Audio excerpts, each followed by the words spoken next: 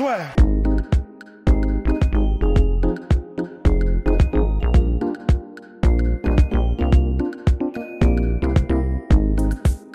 à toutes et à tous, bienvenue au podcast La Sueur. N'hésitez pas à vous abonner. non, mais euh, ça me fait très plaisir d'avoir passé les 10K. Ah ouais, ouais, ouais, bah Stockton, merci beaucoup. Oui, merci. Qui- merci. Qu'est-ce qui nous Merci à vous.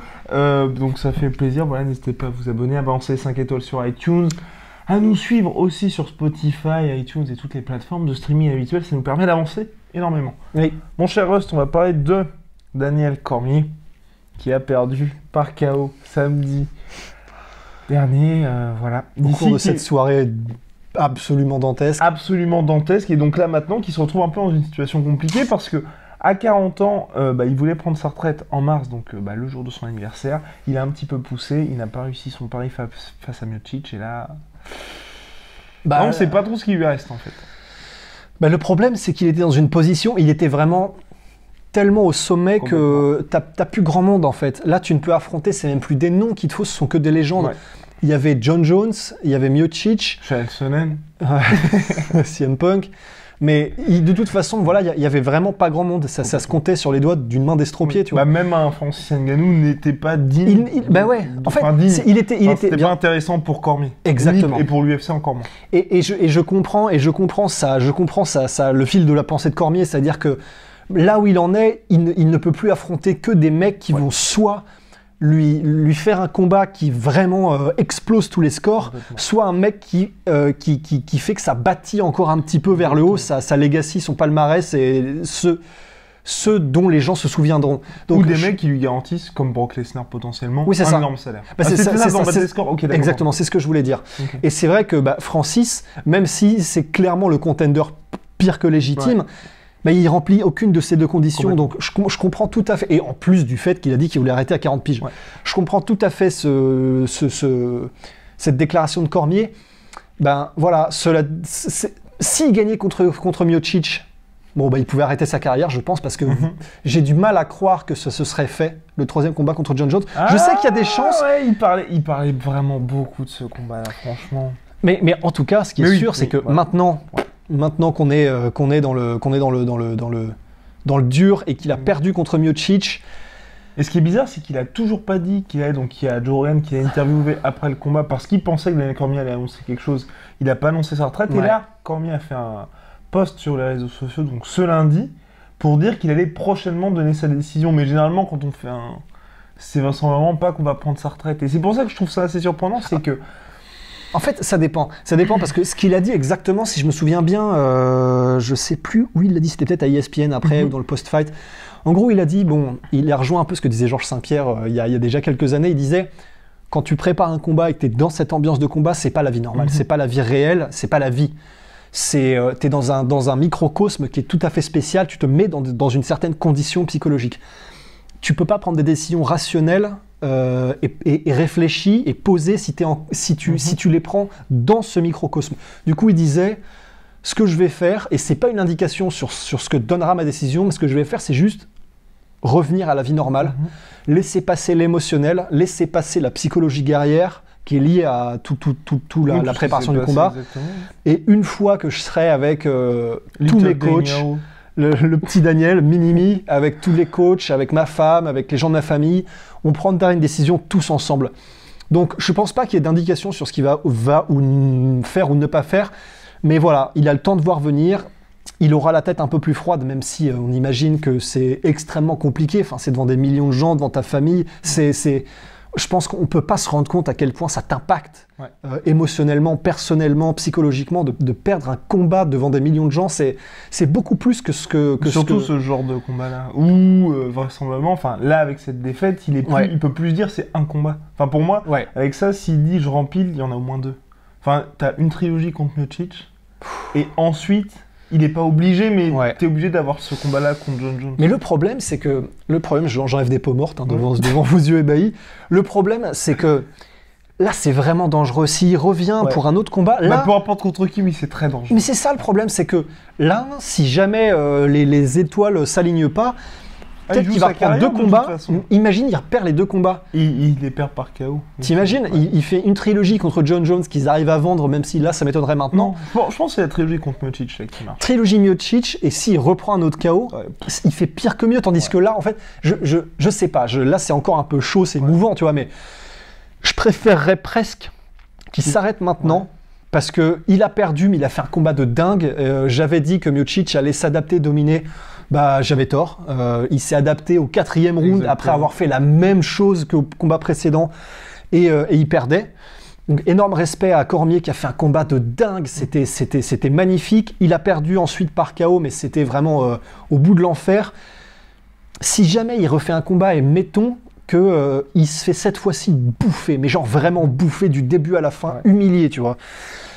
Ben là, là c'est encore pire. Ouais. C'est encore pire. Et là, tu peux plus te regarder dans le miroir. Tu Et sais puis là, forcément, les gens vont dire bah là, il est trop vieux. Il Ouais, exactement, trop. exactement. Mais déjà, ce qu'il disait un peu, c'est ce qu'il commence à se dire. Bah, bien sûr. Il avait dit 40 ans. Là, est-ce que finalement. euh, C'est- extrêmement compliqué. J'avoue, je, je suis vraiment curieux de voir comment est-ce qu'il va gérer Ouais. cette décision parce que là, évidemment, on peut aussi le voir.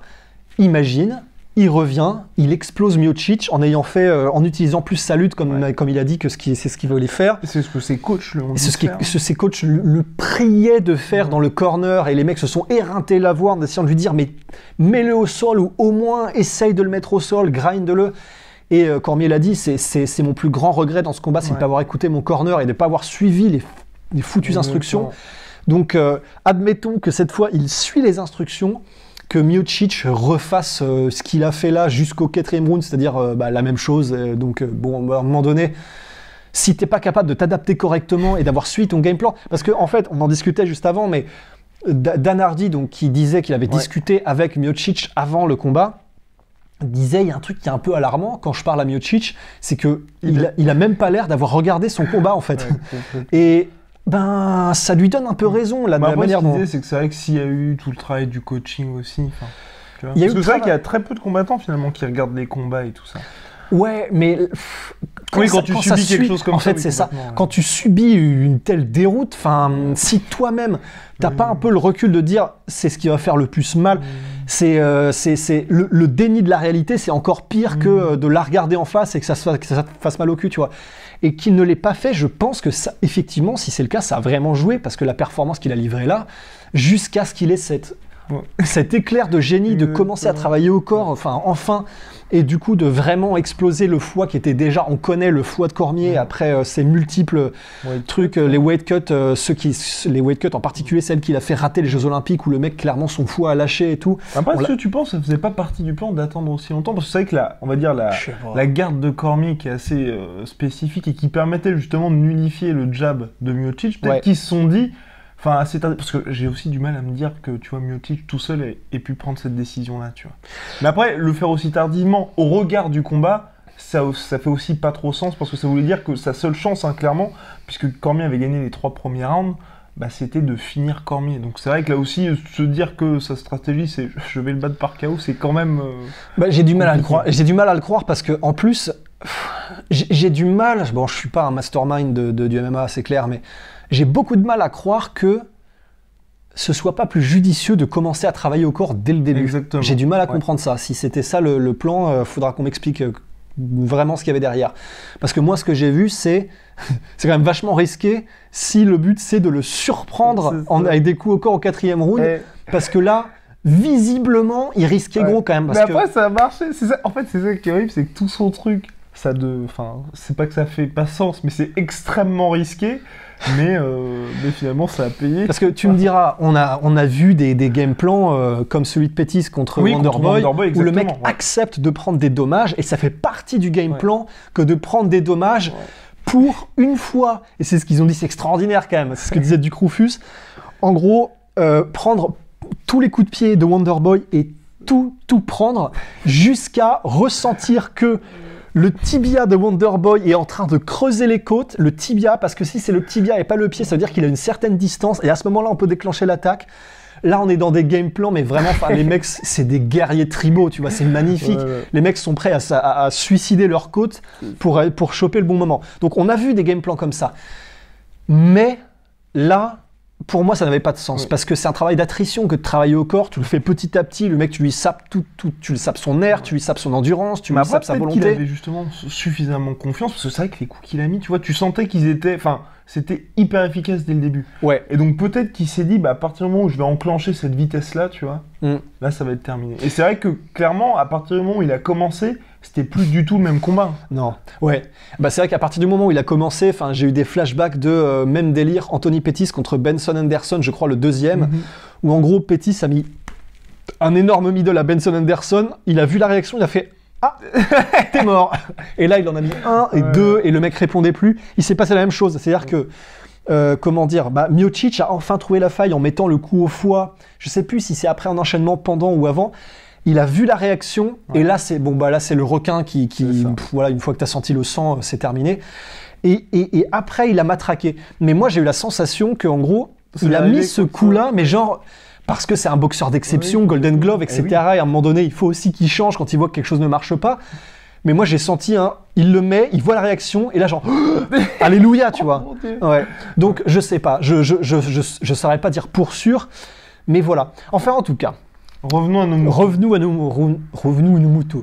revenons à nos moutons. Et Euh, donc à DC. et donc à DC, ben, je sais pas. C'est-à-dire que évidemment, c'est qui tout double? Parce que s'il revient et qu'il met, la- qu'il met Miocic à l'amende, Ouais. et ben là, la machinerie repart, un combat contre John Jones, pourquoi pas, etc. J'ai du mal à le voir. J'ai du mal à le voir. J'ai du mal à. Là, il est tellement 42 ans et je sais, Yoel Romero aussi. 40, 40, 40. 40 ans. Ouais, 40. voilà, bah, Yoel Romero a deux ans de plus. Mais 40 ans, je pense qu'il y y y a une certaine. euh, c'est ce que disaient tous les champions, Anderson Silva, Georges Saint-Pierre. Être champion, c'est. C'est harassant en fait. Enfin vraiment, tu t'accumules, Bah, t'accumules, surtout c'est de la pour un pression. mec comme DC qui fait des title fights depuis bah, 2015. Ah, le mec depuis de- 2015. depuis Quatre 2015. C'est extraordinaire. Mais du coup, voilà, le mec ne connaît que ça. J'aurais, très peur, franchement, que ce soit ce combat-là la goutte d'eau, en fait. Ouais. C'est-à-dire qu'il a déjà pris un KO contre John Jones, mais il est revenu, il a mis Miocic KO, il reprend un autre KO. Il peut très bien revenir parce que c'est un champion comme on en voit peu. Vraiment, quand on, comme on en voit, pff, il y en a, il y en a, voilà, il se compte sur le doigt d'une main sur une période de 10 piges. Mais là, j'ai très peur. J'ai peur que Ouais. ce soit le, le- le celui de trop, tu vois. C'est dur. C'est vraiment dur. C'est dur pour DC. Et mais, mais voilà, tout ça pour dire que, évidemment, tous les scénarios sont envisageables. Il n'a pas été ruiné au point où là, Non, euh, comme. Shock Lidl, on se dit s'il revient, le mec est Et c'était flingué. pas, oui, c'était pas un, c'était un ticket au Et en plus, voilà, il était conscient, euh, c'est juste que son foie. euh, bah, Son foie, non plus les coups ensuite qui s'est pris. Oui, bien, quoi, oui, oui, de aussi, à bien sûr, évidemment. euh, Mais Mais ouais. moi, je- j'irais plus dans le sens de arrêtons là. Ouais, DC prend sa retraite. D'ici prend sa retraite. Ouais. Pour moi, ce serait. Il a plus rien à prouver. Complètement. Oui, non, et puis surtout, quand même, tout ce qu'il y avait autour de ce combat, on avait quand même l'impression que c'était, il se passait quelque chose dans le sens que c'était potentiellement son dernier. Ouais. Mais après, Ouais. ce que je me dis, c'est est-ce que, voilà, parce que pareil, il y avait ses enfants qui n'étaient pas présents auparavant. Mais voilà, est-ce que. Oui, mais voilà, il y avait est-ce un qu'il va parfum de- vouloir revenir? En fait, moi, j'ai- très peur, tu vois, que l'UFC, lui. Bah, on connaît Dana White quand il aime bien les mecs et quand il voit que ça peut être intéressant financièrement. Si Dana White arrive et dit, bah écoute, on fait la trilogie pay-per-view de fin d'année, on te file 10 millions de dollars. Bah là, c'est compliqué. hein. C'est très très dur pour DC de dire. euh, Non, bah, c'est bah, clair. ok, les Bah, demandez d'ailleurs à un autre DC, Daniel Craig, euh, quand on lui demande de rempiler pour un James Bond. Ouais, à la si vous base, filez 25 euh, millions, ça va. Exactement. Qu'est-ce qu'il avait dit déjà à la base pour... Il a dit. Euh, Qu'est-ce qu'il avait dit? Bah, Enfin, en gros, qu'il allait se brûler. Enfin, je- Ouais, ouais, je préférais me brûler vif que, que rempiler pour un James Bond, Et à y ait finalement- le fric. Ouais, et finalement, ils ont rempilé les billets. Ouais. Donc c'est Bah, voilà. un peu ça, moi, qui me, qui me fait hésiter parce qu'on se souvient, par exemple, que le combat contre. C'était pas les mêmes risques, hein, mais contre Derek Lewis, il avait accepté en trois semaines Ouais. parce que l'UFC avait proposé c'était 4 ou 5 millions. Bah, il avait, Bah, il avait battu et puis il avait justement refusé Miocic pour cette période-là parce qu'il disait 3 semaines pour pas pour, contre Miocic, Ouais, c'est pas possible. Mais tu vois, s'ils sont en mode on fait la trilogie, fin d'année, t'as vraiment le temps de te préparer, et en plus ils allongent, pff, tu vois. Sachant que dans tous les cas, comme John Jones a pas l'air particulièrement euh, enclin à monter, ça veut Ouais. dire que d'ici descendre, et ça clairement moi j'y enfin, j'y crois non, pas, je veux dire, ne serait-ce que physiquement, tu vois, tu fais pas ça juste pour un seul combat, Ouais, te dire tu vas pas te mettre dans un état qui. et puis, il a bien vu la différence. hein. Entre être à 100% heavyweight et prendre le risque de descendre en light heavyweight. Après, c'est toutes ces, ces derniers temps heavyweight à son âge et en plus en affrontant John Jones, donc pas un mec qui est abordable entre guillemets pour lui. Ouais. C'est pour moi c'est trop. Donc euh, et maintenant tu peux même plus faire la trilogie en heavyweight parce qu'il y a plus rien pour euh, Ouais. attirer John Jones finalement. Ouais, c'est pas évident. hein. Bah pour moi c'est il lui reste ça, ça veut dire que bah, c'est la seule issue. C'est la bagarre. Et en plus, le problème, c'est qu'on connaît la mentalité de gagnant et de gagneur de. DC. Et en fait, moi, c'est ça qui me fait le plus peur. C'est déjà, ça me rassure qu'il ait dit, je vais en parler à ma team, à Ouais. ma famille. Ça veut dire que bon, déjà, voilà, il se place pas seul dans cette équation pour l'instant. Mais je pense que c'est tellement un gagneur dans l'âme que j'ai vu qu'il a pas pris, vu qu'il s'est pas fait déboîter et qu'il avait l'ascendant. Mhm. j'ai j'ai du mal à me dire que ça va pas peser lourd dans, dans sa décision de revenir ou pas. Ouais. Donc autant personnellement je préférerais pas, autant euh, si l'argent est là, si les billets, si les billets vos violets euh, fleurissent et, et qu'à la fin de l'année qu'il a le temps de se préparer, qu'il a le temps de récupérer, de faire les choses bien, c'est vrai que c'est vrai qu'il y a des chances. Et what's next pour Miocic Moi personnellement, je veux que le pay-per-view du 14 décembre prochain UFC 245 ce soit Miocic John Jones. John Jones? Qui monte parce qu'il y avait eu les tweets. Je sais plus si c'était il y a quelques mois de John Jones qui avait dit les deux ils s'étaient cherchés. C'était Ouais. très cordial mais en mode ok les mecs on est chaud. Et franchement j'ai envie de voir ça. Plus que en fait j'ai envie. Enfin évidemment Francis mérite le title shot. Bien sûr. Mais j'ai aussi envie, et vraiment, que Miocic soit considéré à sa juste valeur, Ouais, à ouais. savoir comme le champion heavyweight le plus dominant de l'histoire de l'UFC, que les gens disent vraiment, bah c'est le patron. Et un combat comme John Jones, tu vois, ça lui permettrait, lui, Bah, voilà, d'ajouter exactement. Enfin, Francis Ngannou, paradoxalement, aurait presque tout à gagner que Miocic affronte. John Jones Ouais. avant, parce que comme ça, euh, déjà, admettons, John Jones gagne contre Miocic, Ouais. ça fait un Francis Ngannou John Jones. Là, ça. Ouais, fait encore plus saliver.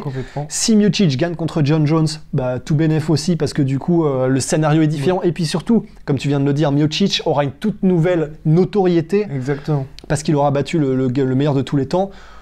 Donc euh, oui, pour le coup, ça fait chier pour Francis, Mais, mais, après, non, pas forcément. mais il a tout à gagner à, à attendre À que ce combat se fasse. ou à prendre un autre mec. Parce que c'est l'avantage avec Francis, c'est que honnêtement, pour moi, enfin je, je sais pas si t'es. À part Miocic et Daniel Cormier dans l'heavyweight, tu peux lui filer tout le monde. Tu sais que les gars vont pas rester plus d'un round contre lui. Ouais. Et, c'est pour ça que tu vois, moi j'aimerais bien par exemple voir une revanche, même si bah, c'est un peu compliqué parce que Derek Lewis c'est pas sur la même dynamique, mais tu vois, voir un, dans d'ici la fin de l'année, tu fais un Lewis Ngannou 2 pour que Francis mette clairement les choses au clair, tu vois. Et comme ça, il enchaîne un nouveau chaos expéditif. Et là, il a défoncé tout le monde. Ouais. T'as plus personne qui mettra en commentaire de nos vidéos parce qu'on vous voit. de nos vidéos ou sur les euh, posts de Francis, ouais, Ouais. mais t'as fait un combat de merde contre Lewis, tu vois. C'est Enfin, vrai. Vraiment, tu vois, t'effaces l'accident. Et voilà, après- mais même n'importe qui. Tu lui files Volkov. Enfin, Francis, on- honnêtement, aujourd'hui, quand tu regardes le roster, tous les mecs qui sont classés en dessous de lui, bah, ils tiennent pas un Ouais. round, deux rounds max. Ouais, réalistiquement, euh, c'est chaud. Donc, ouais. euh, tu vois, lui, ça lui permet d'encaisser un petit peu plus de thunes. Il fait un main event, tout le monde est content. Tu vois. Ouais. Il a pas, il a un combat prévu, Lewis, je crois, non? Euh, Lewis, ouais, il combat Blago Ivanov le, à l'UFC, un combat que tout le monde attend, à l'UFC 244. à- D'accord. bah, au Madison Square Garden. euh, 244, c'est quand ça? C'est début novembre. D'accord, septembre, octobre, novembre. Ouais.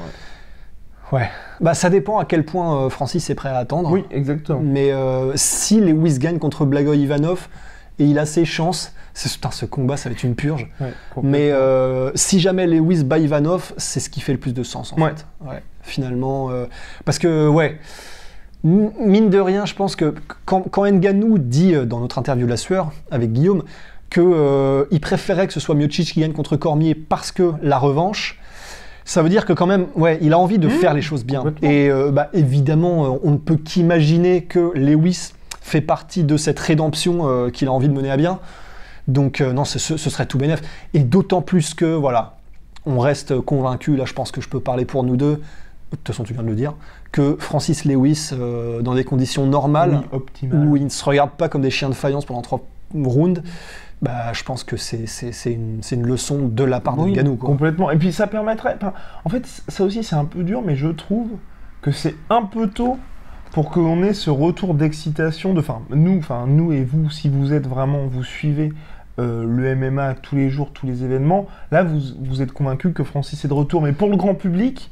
Je Mm. pense qu'il y a toujours un petit peu ce, ce côté Francis, il y a eu ces deux combats, ces deux déconvenus contre, enfin déconvenus, bah, cette défaite contre Miocic et là pour le coup déconvenus contre Lewis, qui reste toujours un petit peu le spectre de ah ça y est il est de retour, il recommence tu vois à retrouver Ouais. un petit peu son mojo. Donc tu vois un dernier combat pour vraiment sécuriser le truc que l'UFC aussi refasse toute une com là-dessus en disant bah ça y est là, Ouais. on a notre Il a vaincu ses démons. Ouais, on est une espèce de prédateur, là, ça y est, euh, lâcher l'animal, tu vois, vraiment, euh, bah, comme ce qu'ils avaient fait avant l'UFC 220, comme ça, ils refont une communication là-dessus, et là, et on est reparti, et puis même pour Miocic, ça lui per- enfin, ça permet en fait de tout lancer pour, vous souvenez-vous de l'excitation qu'il y avait avant l'événement Miocic Ngannou, Ouais. c'était, mais, c'était dinguissime. Donc refaire un truc comme ça, ils prennent vraiment bien le temps de préparer, Ouais. et voilà. Et puis dans, dans le même temps, Miocic qui fait son combat contre John Jones. Ouais. Mais en fait, je pense que je suis en train de me dire là. Le, problème, c'est que Ngannou, il ne peut pas faire mieux que ce qu'il a fait là sur les, Complètement. deux, sur les deux derniers combats. Ouais. Il ne peut pas. Il peut pas faire les choses plus rapidement, bah, avec de façon aussi expéditive Ouais. aussi. Bon, c'était magique. Mais en fait, je suis en train de me dire si ça se trouve, ce qu'il faudrait presque, c'est euh, pour, pour vraiment relancer l'excitation, qu'on voit Ngannou genre euh, vraiment pendant plusieurs rounds Ouais. résister à plusieurs tentatives de takedown ou être mis au sol et montrer qu'il n'y a aucun problème, il peut se relever et tout. Parce qu'en fait, je suis en train de me dire, probablement, en fait, je pense que c'est peut-être quelque part dans mon esprit aussi, on est tous excités par le retour de, de Francis parce que là, clairement, euh, il, il a envie de prouver Ouais, qu'il va faire les choses différemment. Mais ce qui me rendrait, ce qui, ce qui me rendrait encore plus dingue, c'est si on voyait vraiment de nos yeux que euh, il apporte vraiment des nouvelles choses. Parce que là, finalement, Oui, on n'a pas a- beaucoup de preuves que c'est un. Ngannou différent. Il, il est, il est différent dans son approche, ça c'est évident, visiblement.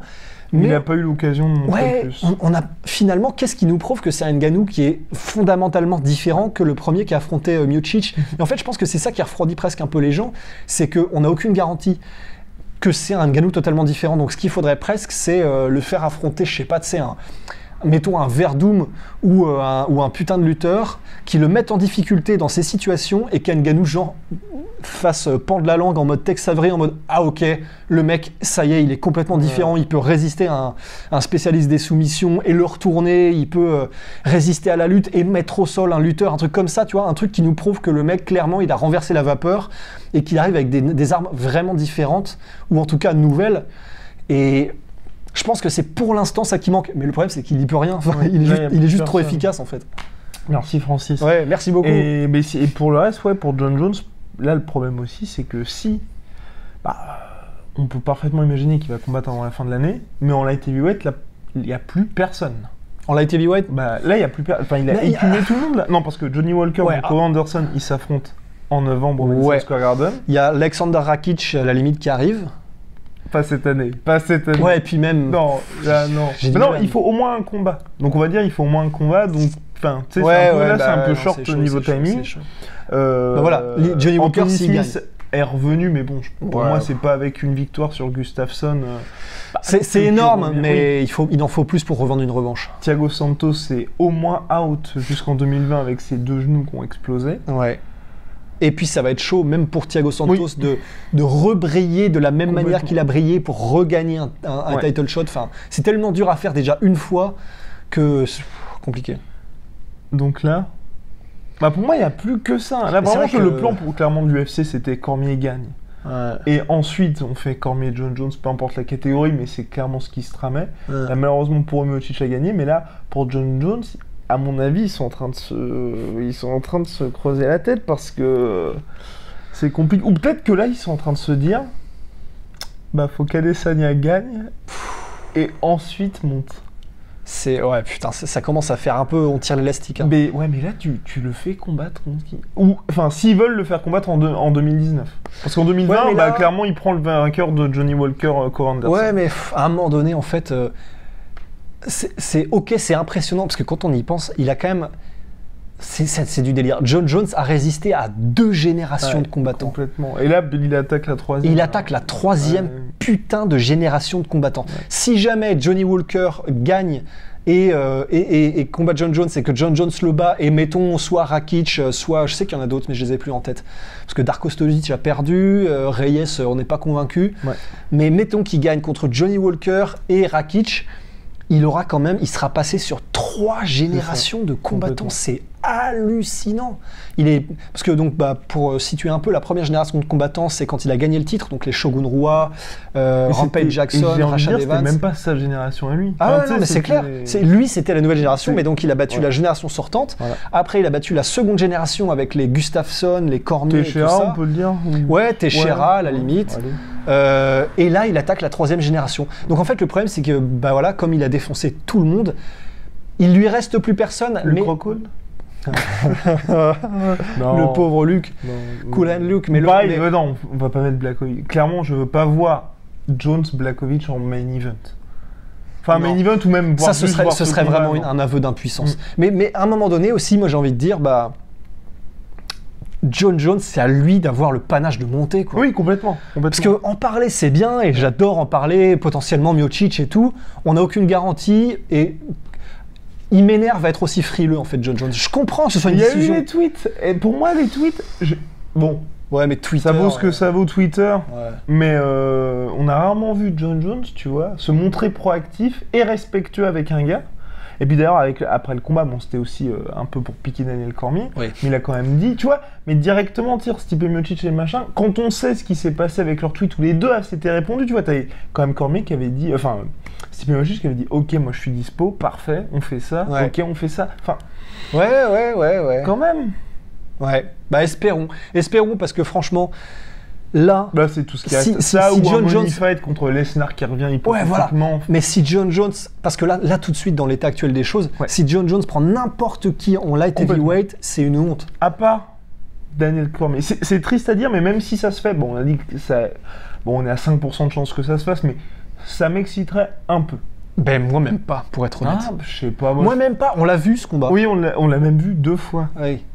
Donc euh, non, enfin Oui. non. Même si Daniel Cormier revient et tout Daniel Cormier qu'il soit, non, moi ça m'excite même plus. hein. Un troisième, euh, parce qu'il n'y a, y a pas de belle quand t'as perdu, quand t'as gagné les deux premiers, tu sais. Oh non Et non, ça m'excite c'est pas. c'est même Daniel Cormier qui l'avait dit en larmes juste Ouais, après. ouais. C'était assez triste. Ne, ne ris pas. ouais, vrai. Ouais, non mais si, si, Non, c'était terrible. Mais voilà, donc euh, c'est tout ce qui reste à John Jones, c'est une montée. Ouais. Bah ouais, il faut qu'il monte pour nous faire, nous faire monter Nous aussi. faire monter.